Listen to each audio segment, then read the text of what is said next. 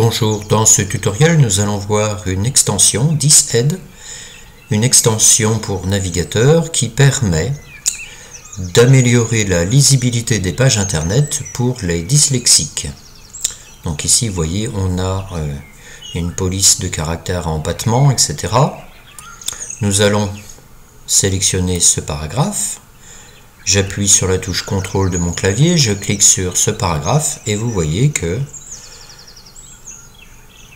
la police a été modifiée. Ensuite, les syllabes sont mises en couleur et l'espacement entre les lignes a été augmenté.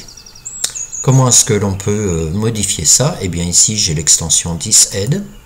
Donc je peux l'activer ou pas.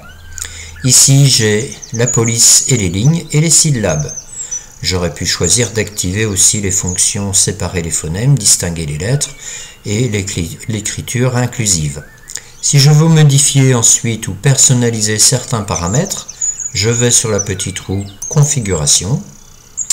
vous voyez que dans configuration, je peux par exemple changer la police, à mettre par exemple handicap ou open dyslexique.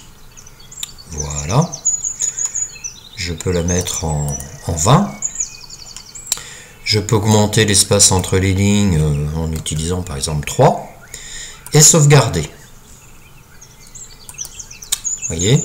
Donc maintenant, si je rafraîchis la page, on va recommencer. Je sélectionne mon paragraphe, j'appuie sur la touche contrôle et vous voyez que le texte a été adapté selon mes paramètres pour un élève dyslexique. A bientôt pour un autre tuto.